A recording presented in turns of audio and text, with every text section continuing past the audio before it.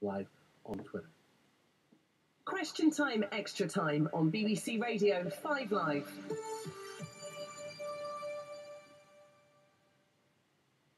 Right, thank you very much. Thank you uh, for, for coming in. Mr. Pienaar. uh, question time starting here in about 20 minutes' time. Yeah, that's so. It's a it's a lively looking looking panel we've got uh, this evening. We'll, we'll we'll go over the over the, the cast list again before the, the show kicks off. But we got we got a senior conservative, Liz Truss. We've got Douglas Alexander from Labour, Vince Cable from the Liberal Democrat, always good value. Caroline Lucas from the Greens, and a and a, and a Daily Telegraph blogger, Tim Stanley. So that's one to look forward to. Certainly, it's a it's a lively campaign. Should be a lively programme. With all this talk of the election campaign, there are still concerns that many people who want to vote won't get a chance to because they haven't registered in time. Yeah, there are 11 days left to sign up, and it can be done online in just a couple of minutes at the official website gov.uk forward slash register to vote. That's, that's what, the that's the website. Yeah, that's what more than one million people have done in the past three weeks, but hundreds of thousands more could miss out unless they register by the deadline of the 20th of April. So we want to know what you think about voting. Is it something we all have a duty to do, or have you decided to opt out for political reasons or for other reasons? Give us a call 0500 909 693. We want to hear from you and give us a text 85058. Well, let's speak to Jodie Lunham, who uh, from Bridgend in South Wales, 23. Hello, Jodie. Hi there. Hello there. You've decided not to vote. Tell us why. Um, basically, it's just a multitude of reasons. Um, I think it stems fundamentally from a lack of education um, in the education system itself. Um, as a child, we were never really told what politics is, what it's about, how it affects us, how the system even works. And I think as a legacy of that, that sort of imposed how I feel now about politics in general. I find it quite inaccessible. Um, I think there's an assumed level of knowledge in politics that even when you try and educate yourself as a 23 year old graduate, and things are quite inaccessible when you're trying to read a manifesto, you can't really gauge what's being said. Um, and that's coming from someone who does actually have a measure of education. So, so yeah. Is this about a, a confidence in yourself then? Because you sound articulate. Why are you not confident to vote for who appeals to you? I mean, it's not that I'm not confident to vote for who appeals to me. It's just that nobody does appeal to me. Um, I think especially with the voting system the way that it is, I mean, in my constituency, I only realistically have two choices to vote for, um, or else my, my vote probably won't count anyway. Um, and the two choices that I have, uh, I wouldn't want to vote for. Um, so I think that that does me quite an injustice because I feel like even if I did want my voice to be heard, then it wouldn't be um, it wouldn't be seen to be anyway. What are you looking for someone to say? I'm just looking for somebody who actually represents me and my interests. Like what does that mean? So what would what would the big big top line issue be for you that would rock your boat? I like to me, it's, it's about people and not so much the policies because I just want to see somebody who looks a bit like me, sounds a bit like me, and who I think understands what actually matters to me, and that's just being a normal, ordinary, working class person. It's interesting. Will Best listening to this, Jodie. Will's Yeah. uh, TV presenter ambassador for Use Your Voice. Hello, Will. Hi, how you doing? I'm doing all right. What, what do you make of what Jodie said? I think it's really interesting, and I think a lot of people feel the same way that Jodie does. But it's just interesting listening, Jodie, to to what you're saying about the need to, you know, feel that you would like to vote for somebody who represents you, represents your interests. I think part of the problem that we've got is that young people have such bad turnout in elections, and so few young people are registered to vote that there's no need for any of the major political parties to present anybody who fits that bill or who does talk to us. And young people have suffered quite badly as a result. I mean, you only have to look at things like housing, where there's you know young people are facing the biggest housing crisis we have in decades and decades because but because we're not homeowners, but 55 year olds who own a house, etc. They're very comfortable um, and they are catered for. And it's the same with public spending cuts that affect young people more than older people because we're not going to go out there and and and vote. Um, you know, a- against things which you know we don't really But you could only the vote for, Will. well, the thing is that can change, and and I think in in this particular election, I think it's really important that people stop thinking about wasted votes because there isn't really any such thing as a wasted vote. I mean, even if let's say you wanted to vote Green, um, who are a party that I do think appeal to lots of young people, maybe they're not going to win in your area, but it's not a wasted vote because if the Greens got twenty percent of the overall vote in the next election, the major parties will have to start incorporating some of those policies into what they do. because they will want to woo those voters to themselves. Or let's say the Greens won two seats, maybe they might become really important seats in a in a hung parliament. So I think the idea of a wasted vote is not it's not really the case anymore. Go on, Jodie. Um, uh, to be honest, I'd quite like to vote for the Greens if some of their policies weren't so ridiculous. Um, I think I agree. I agree with the. I agree with um, with their sentiment and what they're saying with with most of their ideology.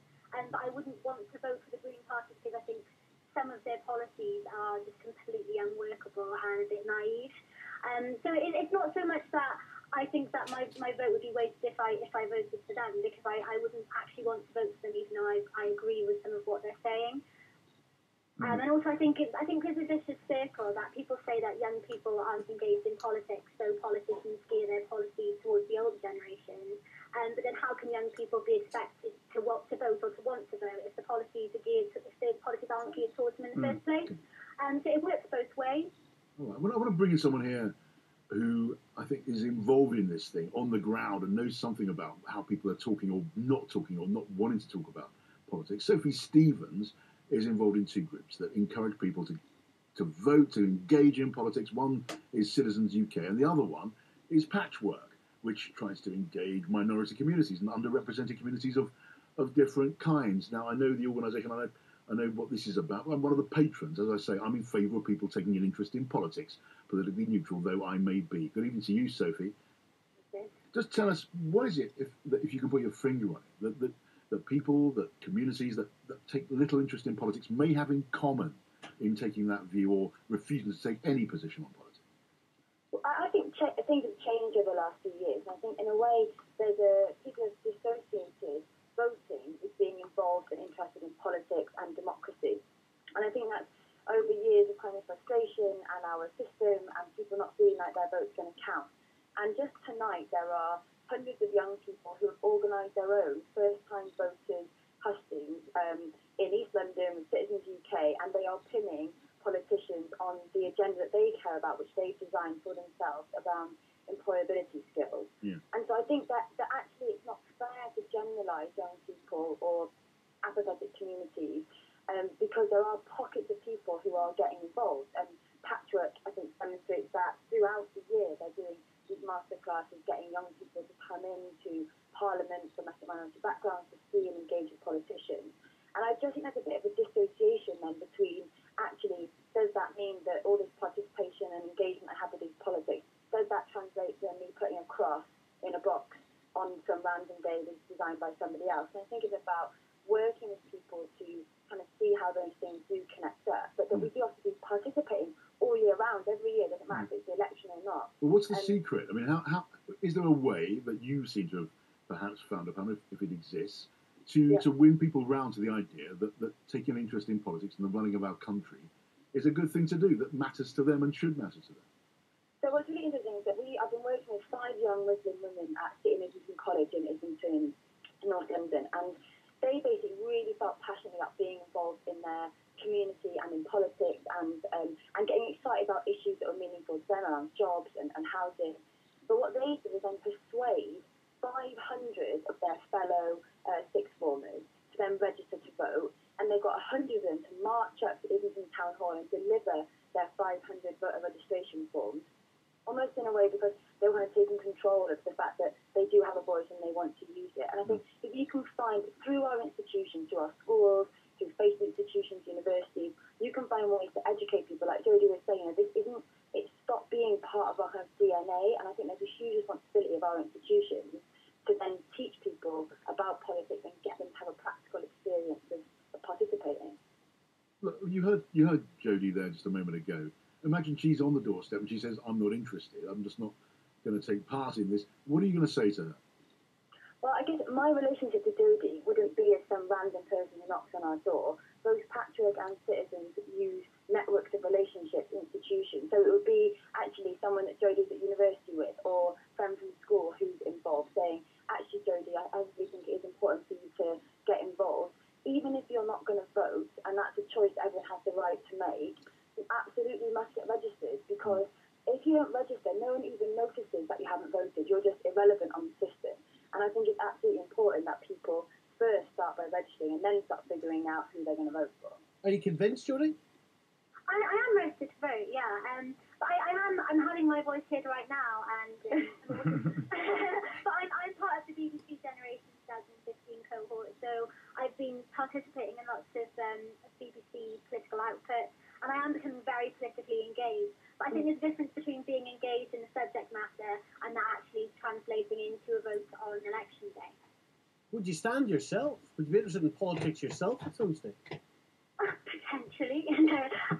Because uh, that's a, that's a, that's another way to do it, Will, isn't it? That if you don't like any of these people, try to affect change by being one of them. Absolutely, absolutely. And I think, you know, as Sophie said, there are so many ways of being engaged in politics now that, you know, actually voting can just be one small part of your own personal engagement with the political landscape. And the more young people that are engaging in the political landscape, the more we can actually affect real change in it. And I think it's a really exciting time. And I think this is actually a really exciting election.